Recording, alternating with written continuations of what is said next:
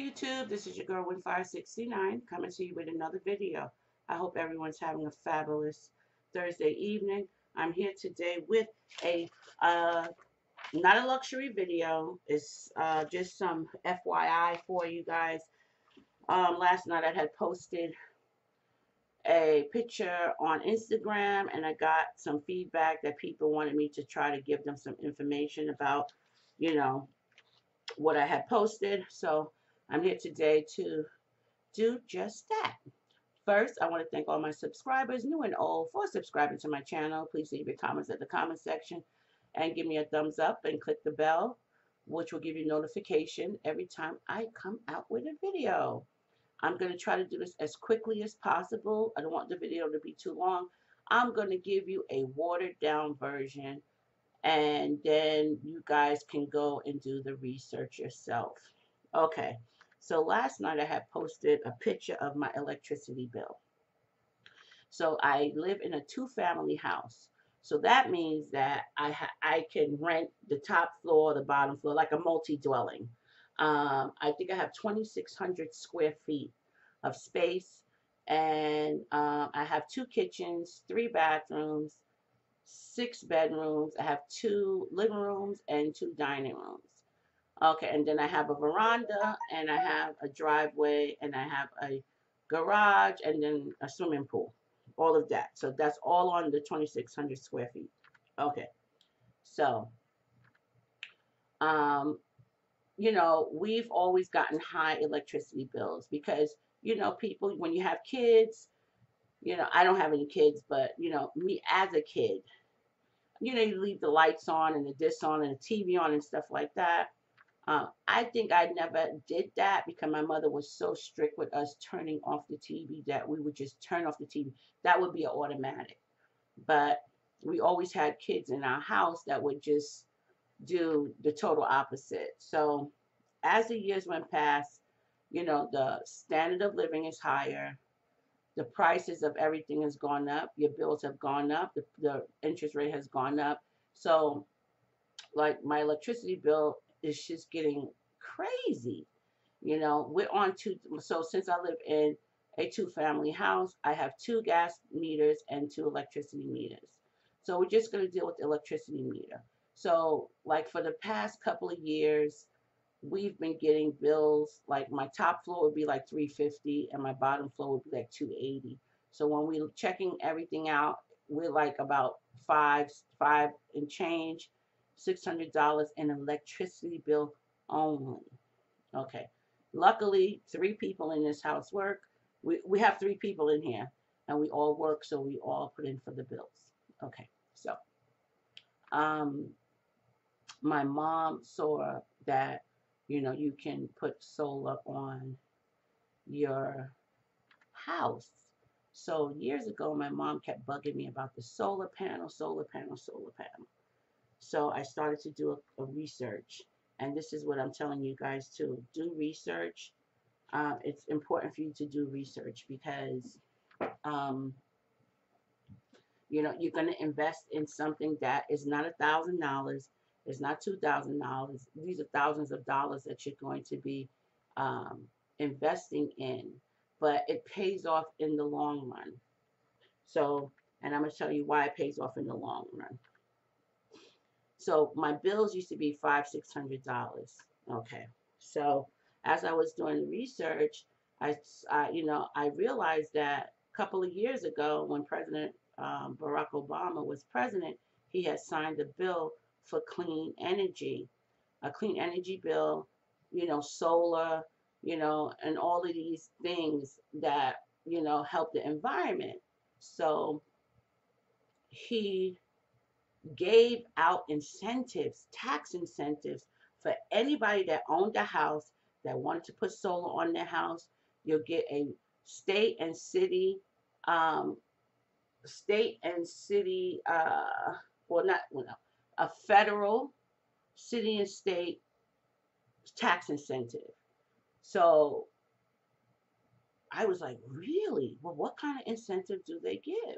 You know, come to find out that um, certain requirements you have to meet to get at least $10,000 back, depending on how much the panels are, you know. So we was like, oh wow, you know. So we decided, I decided to look for, I, I actually did a few things. During my research, I wanted to know what was the difference between leasing and buying the solar panels. So I'll tell you the two differences between leasing, the leasing and buying. Leasing, it's not yours. So if you sell the house, the panels have to come off. And that's going to be a headache because you once they put the panels on your roof and you take them off, it leave holes in your roof. Okay. That's one con to leasing. Okay. Now, uh, the pro with buying them is they can stay on your house and your house value goes up your your um you get a tax, you get a um property abatement with it. Now I live in New York City, so it's a little different. Things might be different in other states. So the, my value of the house goes up, right, dramatically, because um, if you have the solar on your house, you don't have to pay electricity bill. That's the thing, you know.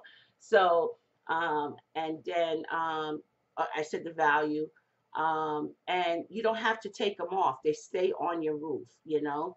Now, either you want to outright buy them or you want to outright finance them. I had to finance because we had, again, my house is big, so we had to have 36 panels, solar panels on my roof, you know, so you know, that's why we had to finance. It was a little, you know, it was a little, uh, I mean, like, the price is kind of hefty. So I want you guys to do research, you know, because you want to know what you're paying for and stuff like that. So, okay. So I went with a finance company called Dividend Solar. And they found me the installer to install, to make up the panels and install them. So my panels are kind of pretty much um, made up for my roof, you know. Um, and maybe you don't need that many panels, but for us, we need it because remember, we have a top floor and a bottom floor and a basement. Okay. So um, the benefits of, back to what I was talking about with the benefits, when you buy the panels, you get tax incentives. You get the city state tax incentive, and then you get federal tax incentives. And I think the, the federal tax incentive, if you go finance, that goes back to the finance company, but you do get other, and you don't have to give it back to them if you don't want to, but um, you can to bring down your payments, you know, your monthly payments. So for us, you know, we have a, a, um, a payment plan that we pay every month but the thing about it is we don't have to pay electricity bill. So we're only paying for our solar panels. Okay. Um, let me see what else I wanted to tell you guys about the, um, so, okay. The sun is what generates the energy to your solar panels.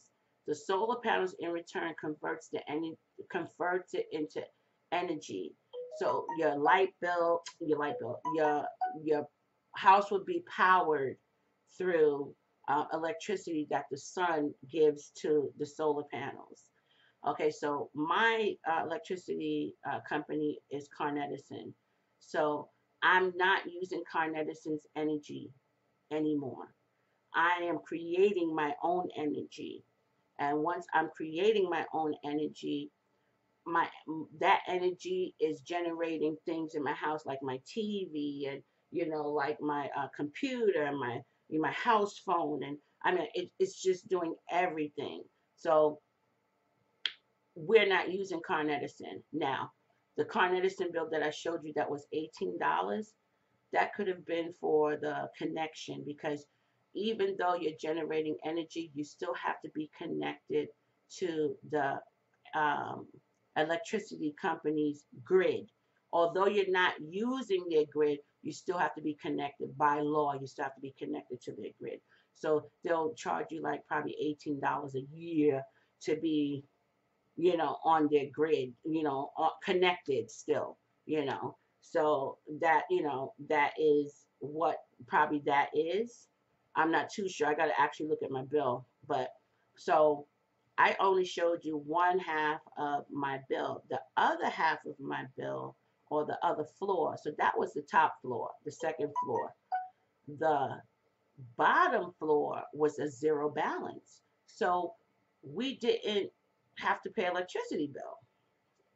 So um, it was kind of like I was kind of happy because hey, I'm actually we're actually seeing we're reaping the benefits of it.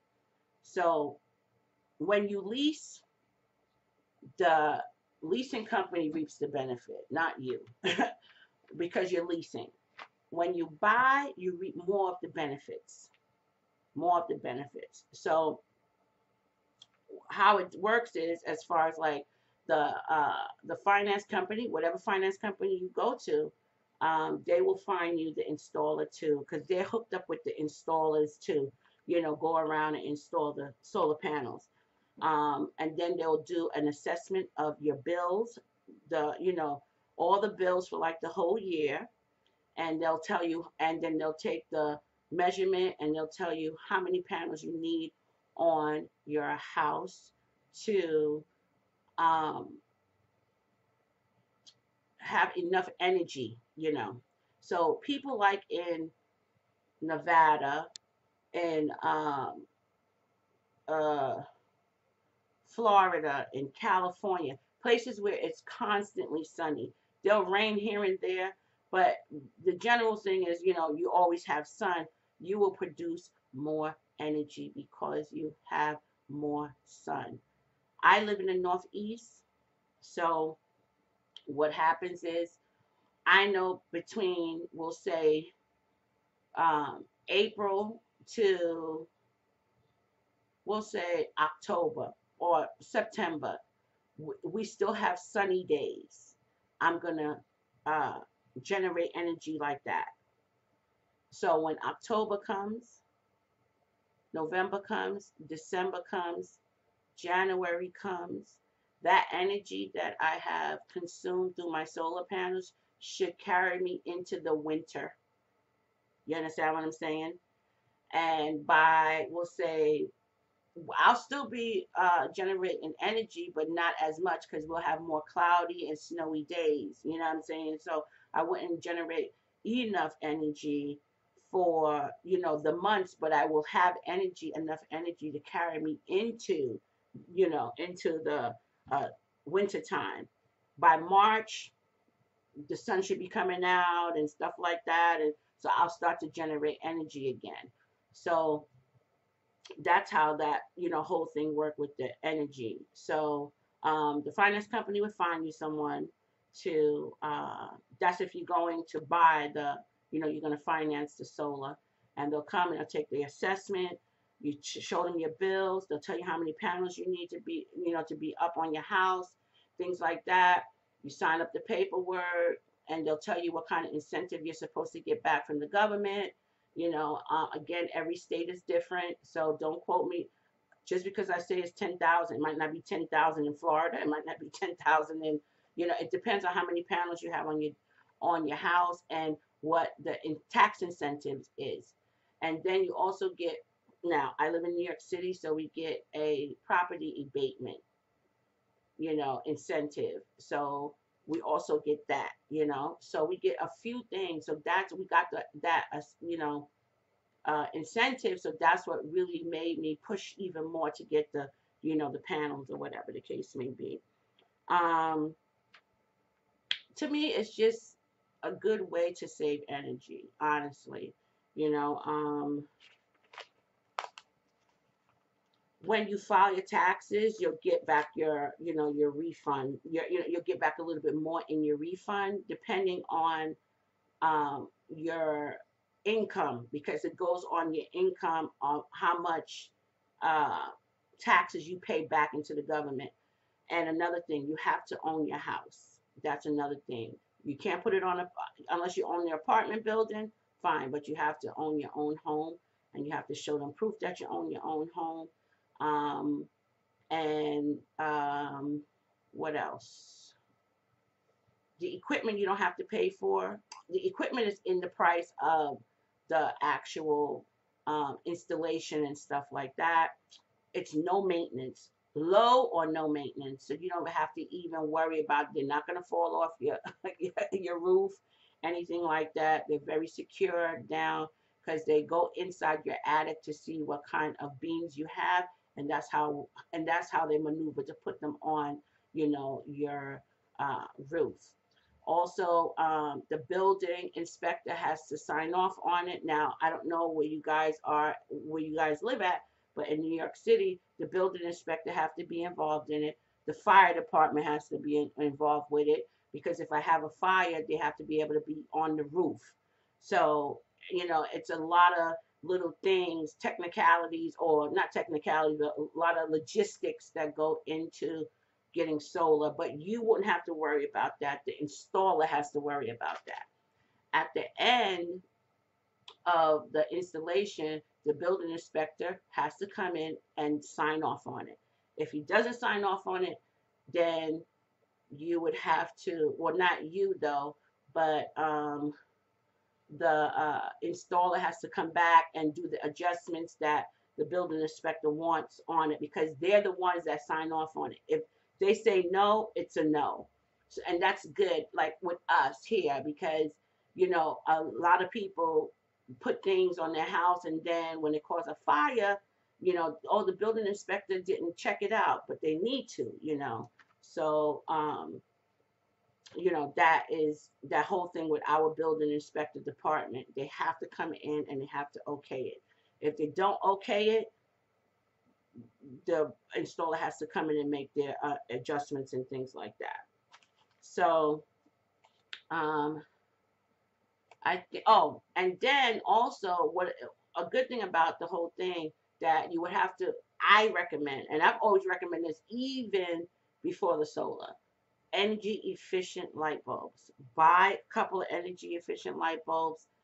I mean, even if you don't have solar now, just buy it. it I mean, to use because it makes a world of difference as far as like, you know, how bright they're they're shining bright, but they're not pulling in a lot of energy, and that's the whole thing to it. So you know that's also one thing about it. So we so what happened is so let me explain. So when Con Edison gets involved in it, which is my electricity company, they come in and they change out my old meters to meet the new specifications to my solar panels. So that means that we have like Con Edison, before Con Edison used to come in downstairs in the basement to check the meter. He doesn't have to do that anymore. All our meters are wireless. So they can stand outside and they can look on the meter and just stand outside, use the device that they have to check them, check my meter. I don't have to, they don't have to come in my house anymore, which is a godsend, you know, because when you're working, they come, they decide, okay, well, this is what it's reading, and that's not really true what it's reading. So I'm kind of happy that they can stand outside and take an accurate reading of the, uh, you know, of the energy, your electricity, which they are not really going to do again. I mean, they'll do it once in a while, but because again, we're solar. So since we're solar, we don't have to have them come into the house or whatever, however, whatever. So I think that is it. That's just a watered down version of, you know, um, my journey with solar panels. I encourage everyone to get it. Everyone. Because it saves money. It really do. And I showed you with the proof that my electricity bill was $18.